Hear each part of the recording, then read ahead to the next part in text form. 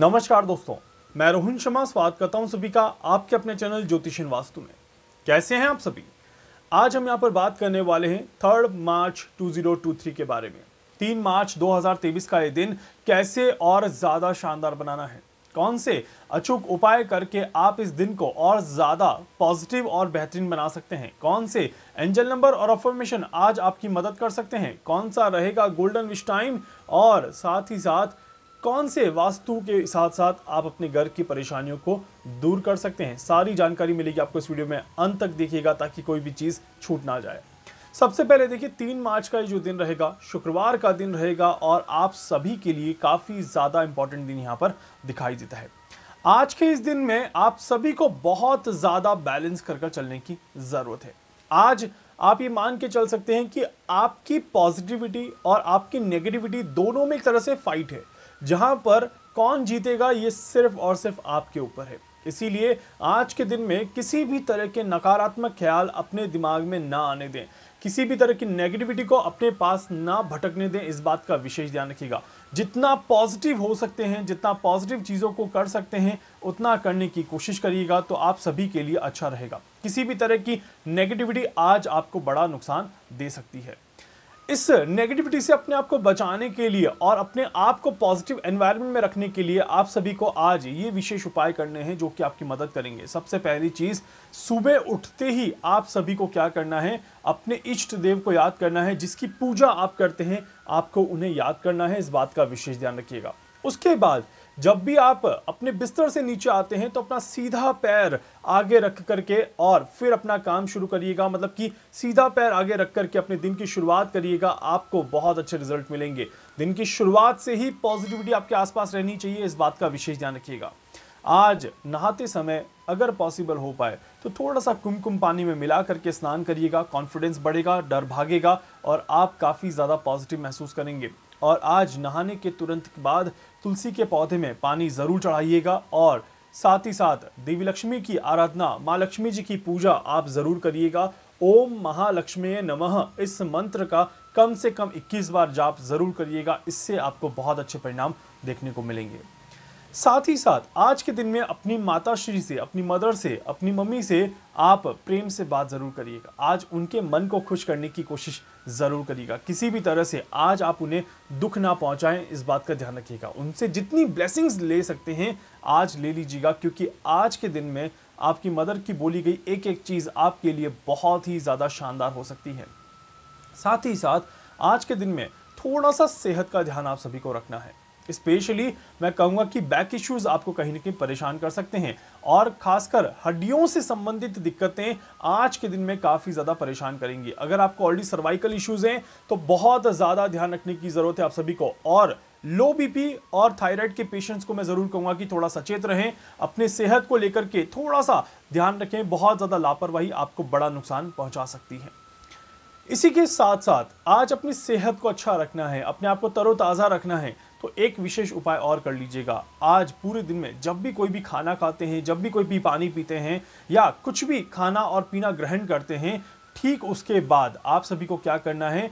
अपने सीधे हाथ से, अपने उल्टे हाथ की तीसरी उंगली, ये वाली जो उंगली है, इसको इस तरह से आप थोड़ा सा मलिएगा। तीन से चार बार आप ऐसा करिएगा, कुछ भी खाना खाने के बाद और कुछ भी पानी पीने के बाद।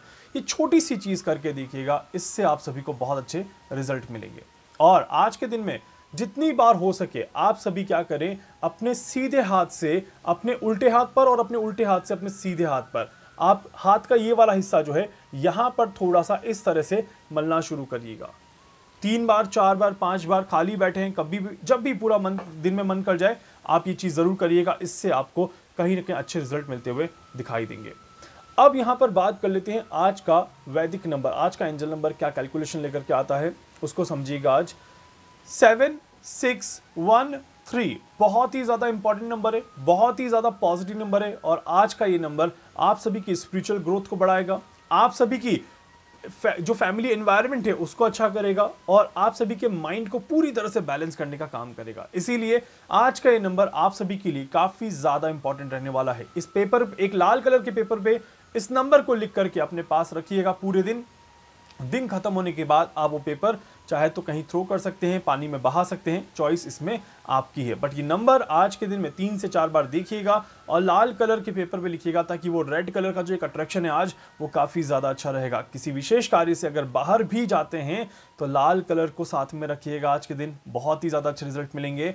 और साथ ही साथ, बिल्कुल light cream colour light blue colour आज आप पहन सकते हैं, आपको बहुत शानदार रिज़ल्ट मिलेंगे।